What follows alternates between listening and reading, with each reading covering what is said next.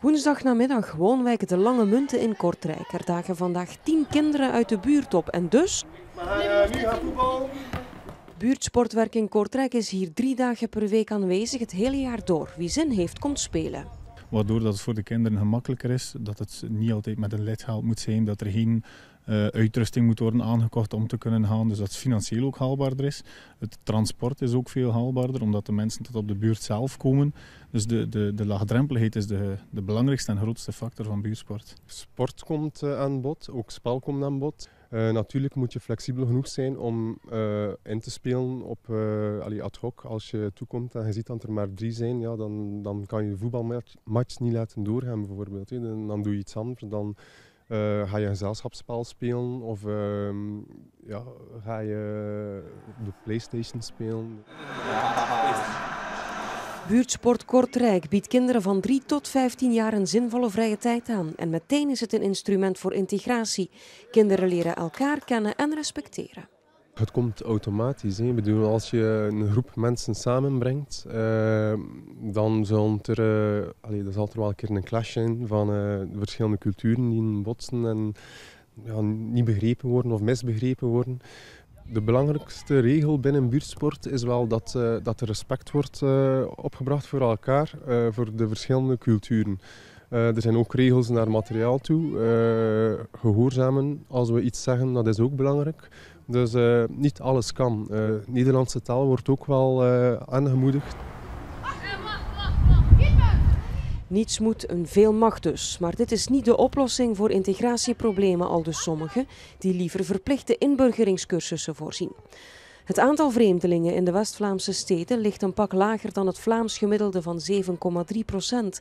Enkel Oostende zit daar net onder. De andere West-Vlaamse centrumsteden scoren een pak lager. Opvallend is wel dat heel wat jongeren van vreemde origine zijn. Ze zijn hier geboren of op erg jonge leeftijd aangekomen samen met hun ouders. Maar hen blijven behandelen als echte vreemdelingen is niet juist, klinkt het hier die ouders die naar hier gekomen zijn, dat was moeilijk voor die mensen. Zij hebben alles over hen heen gekregen, kritieken, bakken kritiek.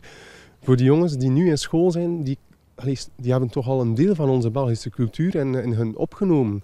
En, en ja, zij krijgen twee culturen allee, gevoed feitelijk. Die generaties zullen zich wel aanpassen, maar dat gaat niet van vandaag op morgen. En zolang er natuurlijk bakken kritiek blijft komen van uh, Belgische nationaliteiten naar vreemdelingen van oh, dit of dat. Dan allee, bedoel, ga je actie-reactie. Het gaat nooit, allee, het gaat, het gaat nooit stoppen. Ik denk dat je nog op de eigenheid van de mensen moet respecteren. En bij mij in de studio zitten intussen twee dames, Vele de Jager voor Groen en Daphne Dumery voor NVA. Welkom. Integratie. Het is in onze provincie iets dat uh, een uitdaging wordt voor de komende jaren.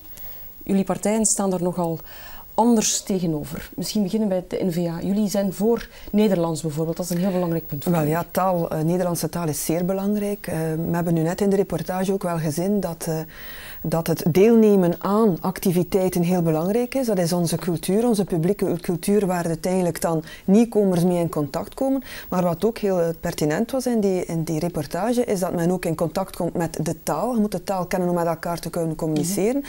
maar ook met eigenlijk regels respecteren. Als er in een bepaalde club, als men zegt van kijk, wij gaan hier zo omgaan met het materiaal, dat is ook heel belangrijk in het dagelijks leven. Ik vond eigenlijk die reportage daar wel perfect op aansluiten. Het is geen club, hè? Ze gaan naar de kinderen toe en ze laten de kinderen komen. Want die kinderen kunnen vaak niet eens in een club terecht.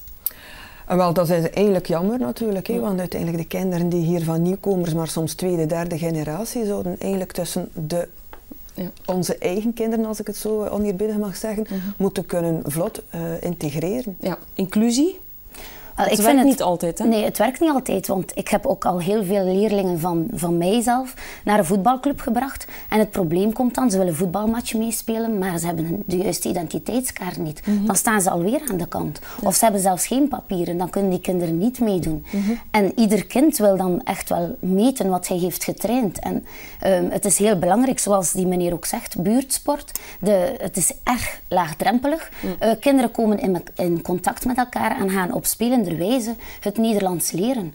Maar wat ook belangrijk is, dat we die discussie over uh, de eigen taal, de moedertaal van de kinderen, die moeten ze blijven spreken. Want ik merk dat zelf in mijn klas, als kinderen hun moedertaal niet genoeg kennen, dan hebben ze geen kapstokken om die Nederlandse taal aan te hangen. Dus wat uw partij eigenlijk zegt van ja, we moeten die moedertaal niet in school uh, of op de speelplaats, dat moet verdwijnen. Daar sta ik echt wel heel hard tegen. Want ik vind dat Jij verwijst naar Gent waar beslist is dat het kan. Hè? Ja. Dat is iets wat ligt. Uh, mijn partij zegt eigenlijk heel duidelijk wat in de private sfeer gebeurt, wat men thuis doet, wat men onder, onder eigen vrienden doet. Daar hebben wij helemaal niets in te zijn. Dat kan perfect. Hè. Men, men vraagt, wij vragen eigenlijk niet aan nieuwkomers of mensen met een verschillende culturele achtergrond om die cultuur te laten vallen. Wat wel is. En ik denk dat daar ook de reportage heel duidelijk is. En u zegt het zelf van, kinderen willen met elkaar spelen. Ik kan mij niet voorstellen dat kinderen vragen aan een ander kind, heb jij de juiste nationaliteit en heb jij de juiste documenten? Daar zit iets anders achter. Aan wat ligt het dan? En ik denk mhm. dat dat wel iets is dat van beide kanten komt. Wij hebben een, een bepaalde cultuur publieke cultuur dan hebben. Hoe gaan we om met regels? Hoe gaan we om met afspraken? En dit is niet altijd duidelijk. Vandaar dat die inburgeringscursussen zo belangrijk zijn. Iemand die naar hier komt met zijn eigen visie op cultuur, op hoe we regels respecteren, die weet soms niet goed hoe het hier allemaal aan de hand gaat. Maar ben je dan voor cursussen op die leeftijd ook? Want dat zijn kinderen, hè? die zijn klein. Nou, dat is eigenlijk een heel mooi voorbeeld van hoe dat het zou eigenlijk moeten zijn. Men kan mhm. spelenderwijs laten merken, laten proeven mhm. wat, dat de, wat de cultuur is en wat men eigenlijk verwacht in een samenleving. Ik denk dat we moeten afstappen ook van het model van wij en zij denken. Mhm. Want zo kan je nooit mensen laten integreren. We moeten echt respect hebben uh, voor elkaar. We hebben de cijfers gezien. Eigenlijk is onze provincie al bij al nog altijd vrij blank. Is het dan een groot probleem? Ik denk dat we... Nee. Voor mij is dat geen probleem. Mhm. Ik denk, uh, de mensen zien natuurlijk soms een hoofddoek en dan zeggen ze oei oei, we hebben veel te veel vreemdelingen. Maar dat is zeker niet waar.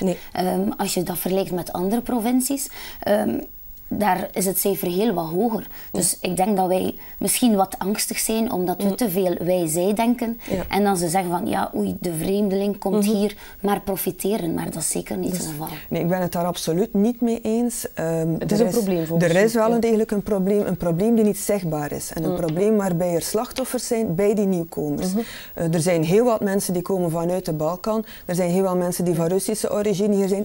U ziet dat niet. Dat Ze hebben geen mensen... hoofddoek aan, bedoel ja, ja, dus die mensen hebben wel nood aan mm. inburgering, die hebben wel nood aan duidelijkheid over hun verblijfssituatie. Mm-hmm. Er leven heel veel gezinnen in armoede. Mm. En hoe komt het? Door een falend migratiebeleid. Dat hangt daaraan vast. En omdat je het niet ziet, daarvoor wil dat niet zeggen dat het probleem er niet is. Ja. Dit jaar heb ik alleen in mijn klas uh, nieuwkomers gekregen uit Roemenië en die mensen komen werken in knelpuntberoepen. Ja. Dus dat hebben ze nodig, hè? Ja, dat hebben we wel nodig. Dus dat is misschien ook wel iets waar we kunnen... Uh, uh, ja, energie op inzetten. Ja, Oké, okay. voilà. goed. Vele eh, de jager, Daphne Dumerie, dankjewel. Dankjewel.